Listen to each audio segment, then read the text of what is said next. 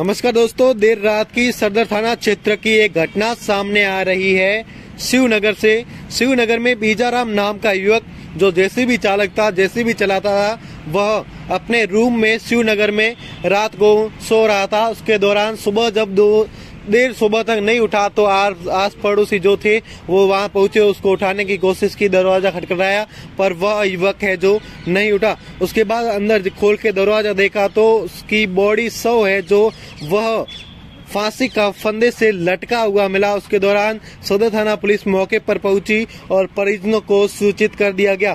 थूमली गाँव से उसके माताजी परिजनों को सूचित किया गया। वह मौके पर पहुँची। उसके दौरान है जो उसके शव को उतारा गया। वहाँ पर है जो सुसाइड नोट बीजारम के द्वारा लिखा हुआ सुसाइड नोट में मिला है। हालाँकि यह तो पोस्टमार्टम के द्वारा ही पता चल पाएगा कि बीजाराम ने सुसाइड किया है या उसको किसी ने मारा गया है।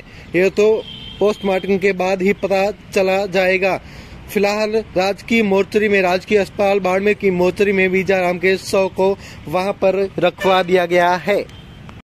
विजयराम जाट, निवासी थूमली जो अभी शिवनगर में रहता है, रात को किस समय उसने कमरे में अपनी सुसाइड किया या किसी ने मारा है, ये तो पोस्टमार्टम के बाद में खुलासा हो पाएगा। फ़िलहाल हमने उसकी डेड बॉडी को पोस्टमार्टम के लिए गवर्नमेंट हॉस्पिटल भिजवा दिया है। उसके परिवारजन भी यहाँ आए थे। उनको सब्जा बुझा के उनके पैतृक गाँव थूमली रवाना कर दिया है। फ़िलहाल मौके पे शांति है। आगे जो भी बात होगी वो आपको अवगत करा दी जाएगी। हाँ सुसाइड नोट मिला है उसका जिसको पुलिस ने अपने कब्जे में लिया है। उसको जाँच में रखा जाएगा। एफ़ एस उसकी जाँच करवाई जाएगी। मृतक ने खुद ने लिखा है या किसी ने लिख के डाला है जो भी है वो जाँच के बाद ही सामने आ पाएगा कि वास्तविकता क्या है। प्रथम दृष्टया सुसाइड ही? लग रहा है। बाकी जाँच के बाद ही क्लियर हो पाएगा।